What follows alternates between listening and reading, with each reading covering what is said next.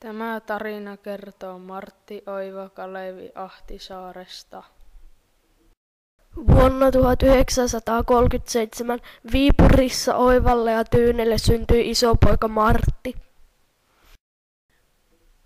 Vuonna 1956 Martti olikin opiskellut jo ylioppilaaksi. Martti halusi opettajaksi ja kävi Oulussa opettajakorkeakoulun, josta valmistui vuonna 1959 opeksi. Martti Ahtisaari on ollut vuodesta 1977 alkaen YK hommissa. Martti Ahtisaari toimi Suomen tasavallan presidenttinä vuodesta 1994 vuoteen 2000. Vuonna 1992 Martti sai Suomen positiivisen ihminen palkinnon. Martti oli rauhanneuvottelija Kosovossa.